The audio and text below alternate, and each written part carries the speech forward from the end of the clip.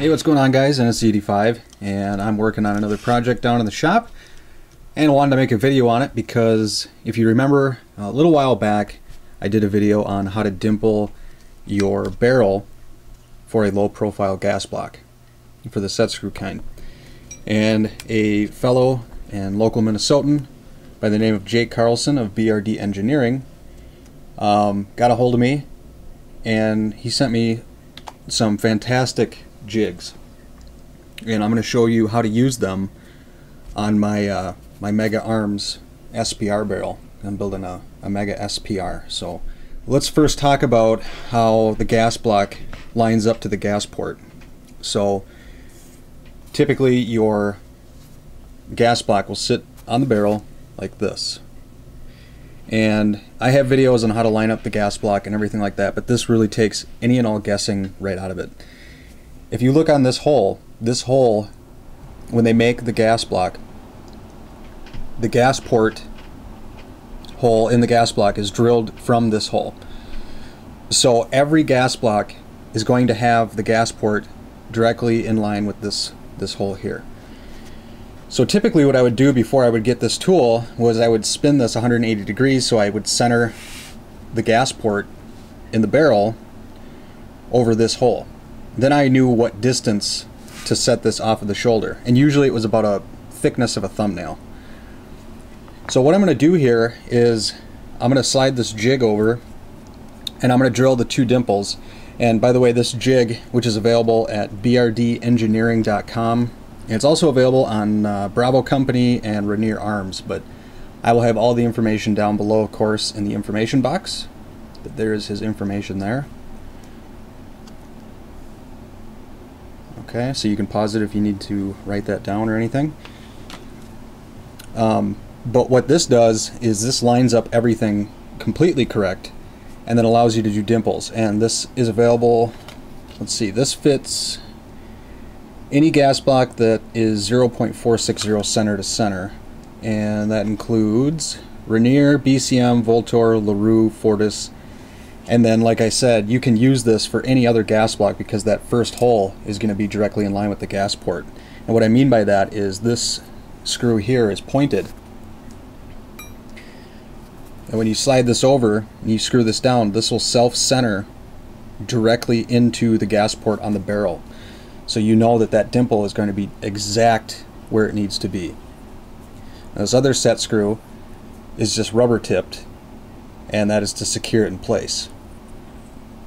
So literally all you need for dimpling your barrel with this is you need the jig, of course.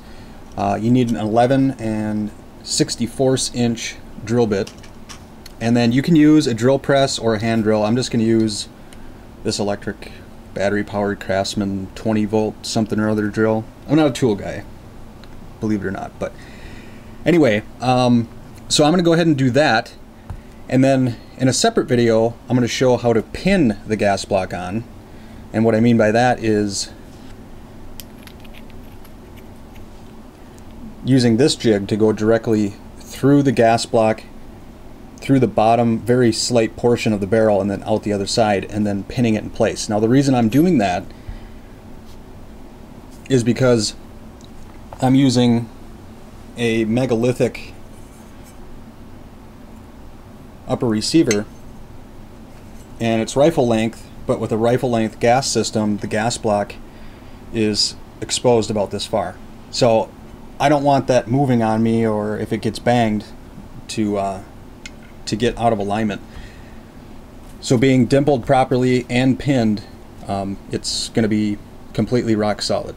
So let's go ahead and get started on dimpling your barrel with the BRD Engineering gas block dimpling jig. So first things first, I'm going to go ahead and take the pointed screw out and I'm going to slide this over the barrel.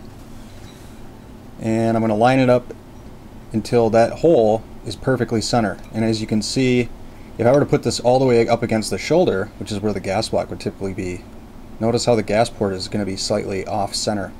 So that's what's nice about this. I can put it right in the center just like so. and then go ahead and insert, insert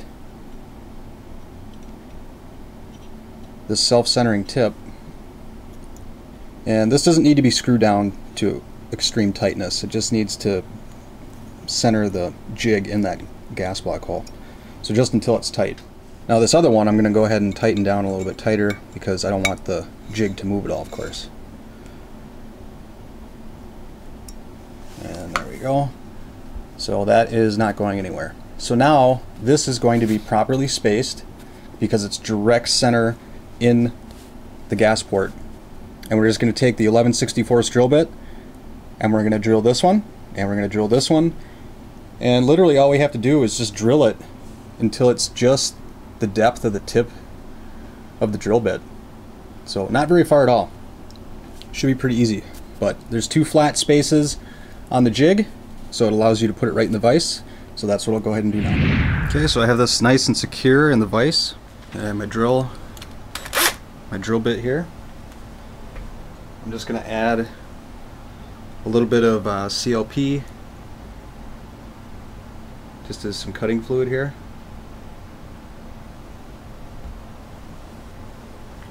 And then just using slight pressure, just go ahead and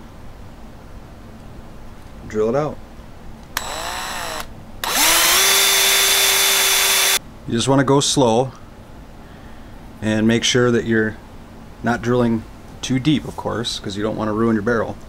Just take your time, do a little bit, and take it out. Do a little bit more, take it out till uh, it's good to go.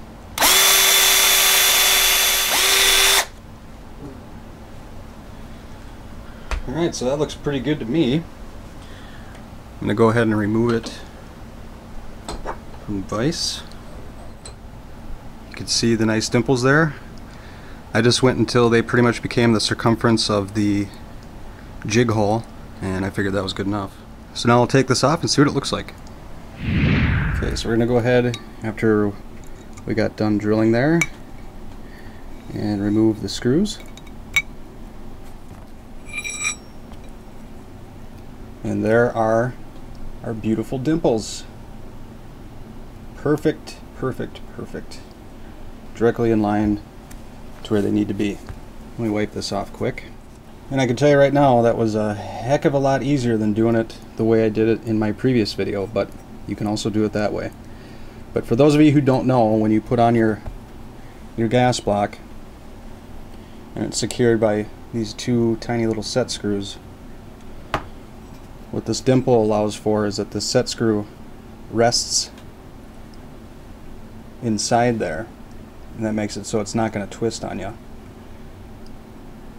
But as you can see, it uh, didn't take much time. It probably took me literally about five minutes, and I know that this is perfectly aligned, centered, and set up for the gas block.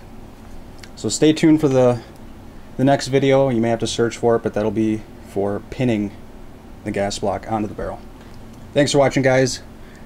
Hopefully you found it helpful. Remember to check me out on Instagram, Facebook, all that jazz at NSZ85 or slash NSZ85. Have a great day.